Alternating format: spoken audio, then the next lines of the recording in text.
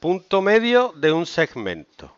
Imaginaros que tenemos el segmento que va del punto A, que es el 2, 1, al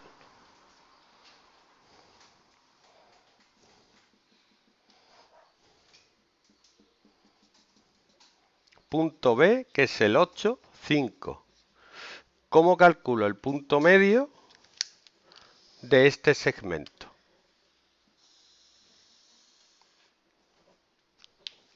¿Mm? ¿Qué hago? Yo lo veo muy fácil. Para saber el punto medio, aquí veo cuánto hay de aquí a aquí y lo divido entre 2. ¿Sí o no? ¿Mm? Si este empieza en el 2 y termina en el 8, ¿cuál es el punto medio?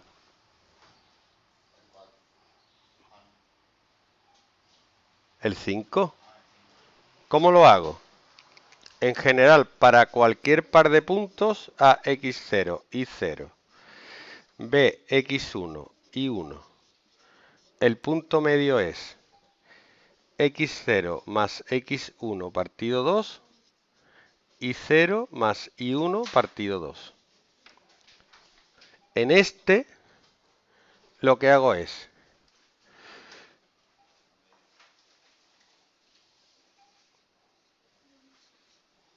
dos más 8 partido 2. 2 más 8 es 10, entre 2, 5.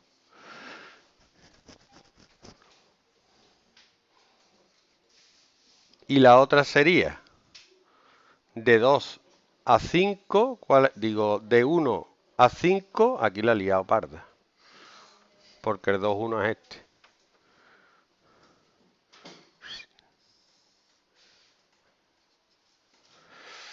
Dos, 1. Sería del 1 al 5, 1 más 5, 6, entre 2, 3. El punto medio es el 5, 3.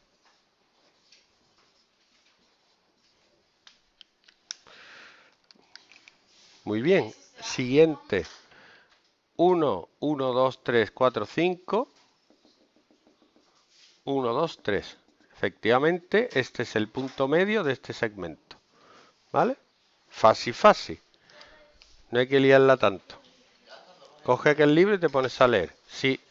Pero ahora viene lo gracioso y divertido. El punto medio del segmento.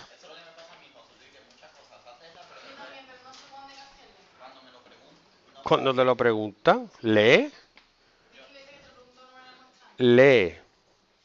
No.